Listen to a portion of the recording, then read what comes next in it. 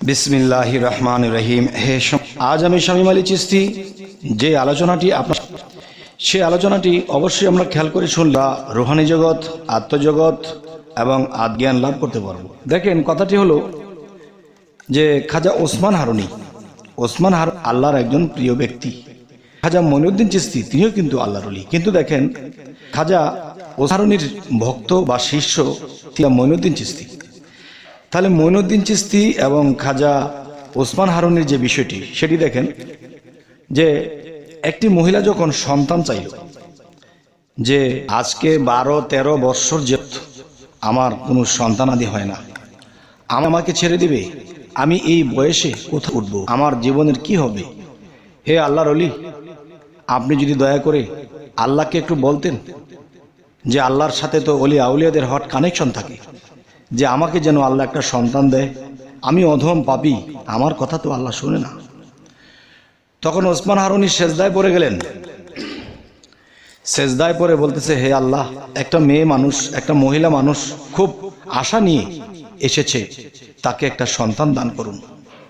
তখন আল্লাহ বলতেছে, হে ওসমান হারুনি, তুমি সেজদা ওঠাও, এই মহিলার কোনো সন্তান নেই। তখন বলল যে, হে আল্লাহ, আপনার কাছে তো কোনো কিছুর অভাব নেই। কে, দেখো, আমার কাছে কোনো কিছুর অভাব নেই, কিন্তু ওই মহিলার তো সন্তান নেই। এ কথা যখন বললেন, তখন তিনি সেজদা উঠিয়ে সেই মহিলাকে বলে দিলেন মাগো আল্লাহ তো এই কথা বললেন যে, তোমার কোনো সন্তানাদি নেই। হ্যাঁ আল্লাহ, তোমার কাছে তো কোনো কিছুর অভাব নেই। তারপরেও কিন্তু আল্লাহ আমাকে একই কথা বললেন যে, ওই মহিলার তো কোনো সন্তান নেই। তারপর আমি আর কি বলব মা? যে আল্লাহ এ কথাই আমাকে জানিয়ে দিলেন। তখন মহিলাটি চোখে, নাকে, মুখে কান্নার ছাওয়া পড়ে গেছে।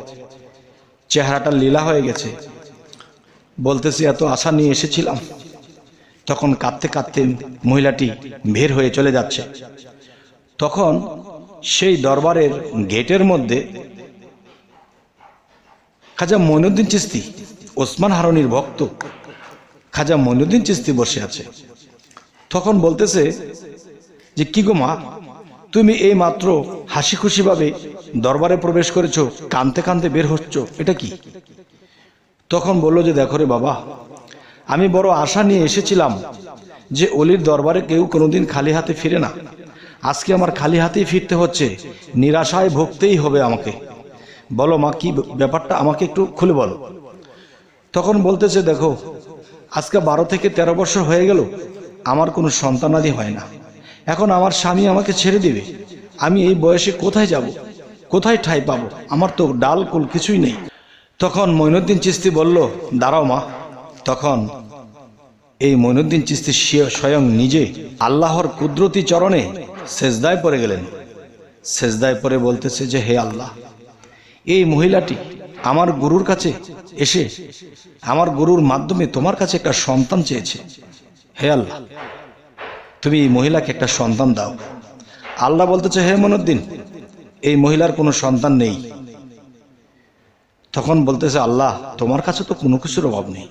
আল্লাহ বলতেছে, আমার কাছে কোনো কিছুর অভাব নেই, কিন্তু এই মহিলার তো সন্তান নেই।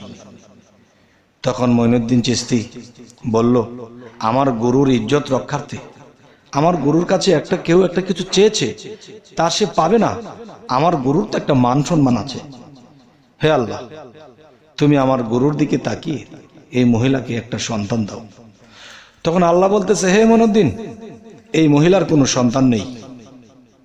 বারবার যখন একই কথা বলে, তখন মঈনুদ্দিন চিস্তি আল্লাহকে বললেন, হে আল্লাহ, আমার জীবনে কোনো অরজ্জাত সন্তান আছে কি? হ্যাঁ আছে। তাহলে হে আল্লাহ, আমার তরফ হইতে হলেও একটি সন্তান এই মহিলাকে দেওয়া হোক। তখন আল্লাহ বলল, হে মনুদ্দিন, তোমার কথা আমি কবুল করলাম। আমি তোমার পক্ষ হইতে এই মহিলাকে একটি সন্তান দিয়ে দেব। তো আমার কথা হলো, বছর ঘুরতে ঘুরতে একটা সন্তান হলো সেই মহিলার। তখন সেই মহিলা কোলে বাচ্চাটাকে নিয়ে খাজা ওসমান হারুনির দরবারে এসে বলতেছে, কোথায় আছে বন্ডবীর কই খাজা ওসমান হারুনি? কই ভণ্ডপীর? তখন তাকে গালমন্দ করতে লেগেছে। তখন বলতেছে যে, আপনি একটা ভণ্ড, কেন? আপনি বলেছিলেন আমার কোনো সন্তানাদি নেই, আল্লাহ নিষেধ করে দিয়েছে। তাহলে বোঝা গেল, আপনি একটা ভণ্ড, মিথ্যা প্রতারক। দেখেন আমার সন্তান হয়েছে। এই মহিলাটি অপমান করে যখন চলে গেল, তখন খাজা ওসমান হারুনি তার চেহারা লীলা হয়ে গেছে, তার মন খারাপ হয়ে গেছে। আল্লাহ কি আমার সাথে মিথ্যা কথা বলল? আল্লাহ কি আমার সাথে এরকম প্রবঞ্চনা করল? যা এই আল্লাহর ইবাদত আমি আর করব না। তখন সে চলে গেছে হাঁটতে হাঁটতে একটা মন্দিরের দিকে। মন্দিরের দিকে যখন চলে গেছে, তখন সাড়ে সাতশো ভক্ত তার পিছনে হাঁটতে লেগেছে। আমার গুরুর শরীরের কাপড় ছেড়ে ল্যাঙ্গট পরে হাঁটা দিল। কি হলো রে? তখন সেই গুরু কি করল?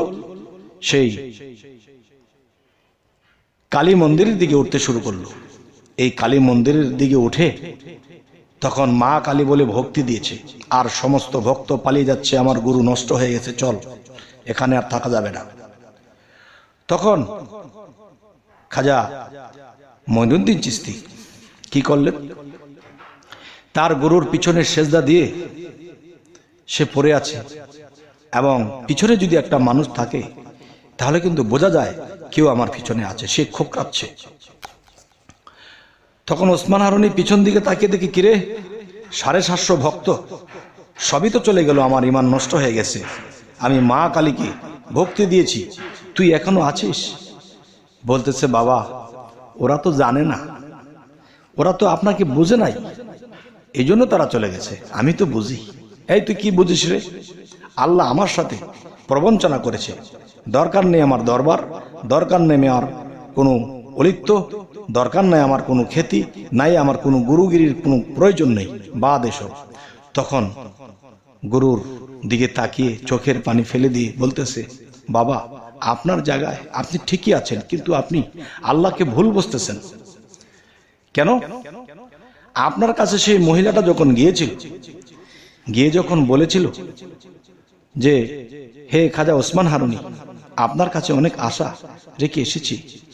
আপনার কাছে যখন আশা রেখে তার মনে বাঞ্ছা তিনি আপনার কাছে প্রকাশ করল। তখন কিন্তু আপনি তাকে বলে দিয়েছিলেন যে, আল্লাহ বলেছে, তোমার কোনো সন্তান নেই। কিন্তু আমার চিন্তা হলো, আমার গুরুর দরবার থেকে একটা মানুষ এসে খালি হাতে ফেরত যাবে, এটা আমার গুরুর একটা ইজ্জতের ব্যাপার। তখন আমি আল্লাহকে চেষ্টা করেছিলাম। চেষ্টা করে বলেছি, আল্লাহ, দয়া করে আমার গুরুর ইজ্জত রক্ষার্থে তুমি একটা সন্তান দান করো এই মহিলাকে।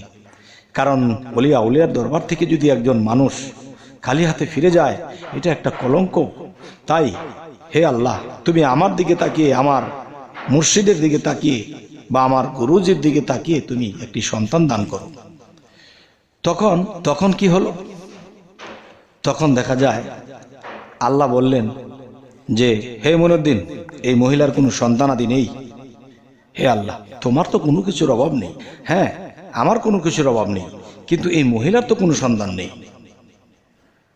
তখন আল্লাহ দয়া করি, একটি সন্তান দাও, আমার গুরুর ইজ্জত রক্ষার্থে একটি সন্তান দাও। তখন আল্লাহ বলল, হে মনুদ্দিন এই মহিলার কোনো সন্তান নেই। হে আল্লাহ, তোমার তো অভাব নেই, আমার অভাব নেই, কিন্তু মহিলার তো নেই। একই কথা যখন বলছে, তখন খাজা মনুদ্দিন চিস্তি আল্লাহকে বললেন, হে আল্লাহ, আমার কোনো, আমার জীবনে কোনো অরুজ্জান সন্তান আছে কিনা? আল্লাহ বলেছে হ্যাঁ আছে। হে আল্লাহ, আমার থেকে একটা সন্তান দিয়ে হলেও আমার গরুর ইজ্জতকে রক্ষা করো। তখন আল্লাহ বললেন, হে মইনুদ্দিন কবুল করেছি। তখন কবুল করেছে, সেই সন্তান তো আল্লাহ দেয়নি, সে তো আমার থেকে নিয়ে দিয়েছে। তখন তার গুরু বলল, যে হ্যাঁ তাহলে আমার সাথে যে কথা দিয়েছিল, সেই কথা তো ঠিকই আছে। আর তোমার সাথে যেটা ঘটেছে, এটাও তো ঠিক আছে। কিন্তু ভুল তো আমারই। তখন সেই খাজা ওসমান হারুনি তার ভক্তকে বুকে জড়িয়ে বলতেছে, বাবা, তুমি আমার ভাঙা ইমানটাকে, ভাঙা মনটাকে আবার জোড়া দিয়ে দিলে, বাবা। তাহলে একজন ভক্ত গুরুকেও স্ট্রং করে দেয়। তার জায়গা থেকে সে নড়ে গেলে একজন ভক্ত এমন হওয়া উচিত যে গুরুকেও সেই জায়গায় স্ট্রং করে দেয়, দাঁড় করিয়ে দেয়। হেলে ডুলে গিয়েছিল, তা তাকে সোজা করিয়ে দেয়। তাই আমি বলব, আজকের আলোচনার যে মূলটি, সেই মূল বিষয়টি কি? যে আল্লাহর কাছে অভাব নেই, আল্লাহ কেন দিল না? এবং মইনুদ্দিন চিস্তি থেকে দেওয়া হলো কেন? আল্লাহর তো কোনো কিছুর অভাব নেই। এই কথার জবাবটা বা এই কথার উত্তরটা আমি স্বামী আলী চিস্তি আপনাদের কাছ থেকে নেব। হে ইউটিউবের যারা আছেন, আশেক ভক্ত যারা আছেন, সকলের কাছে এই জিনিসটা আমার জানা বিষয় যে আল্লাহর কাছে তো অভাব নেই, আল্লাহ কেন দিলেন না? মইনুদ্দিন চিস্তি থেকে নিয়ে কেন দিলেন? এই কথাটি আপনাদের কাছে আমার জানার খুব ইচ্ছা। যদি আপনারা কমেন্টে আমাকে জানান যে না, আমরা এটা পারছি না। তাহলে আমি এর পরিবর্তে আমি ফিনিশিং আলোচনাটি করে নিব। আর যদি আপনারা উত্তর দেন যে হ্যাঁ এই জন্য আল্লাহ দেয়নি আর এই জন্য আল্লাহ দিয়েছে, তাহলে আমি অবশ্যই আমার জানা হলো এবং আপনার এই কমেন্টটি পরে অনেকেই জানবে। আর না জানলে অবশ্যই আমাকে বলবেন, আমি পরের পর্বে বাকি কথাগুলো ভেঙে দেবো ইনশাল্লাহ তবে হে সমস্ত জগতবাসী সকলে ভালো থাকবেন। আমাদের চ্যানেলটিকে সাবস্ক্রাইব করে নেবেন। যদি ফেসবুক হয়, অবশ্যই ফলো করে নেবেন। সকলে ভালো থাকবেন। আল্লাহ হাফিজ।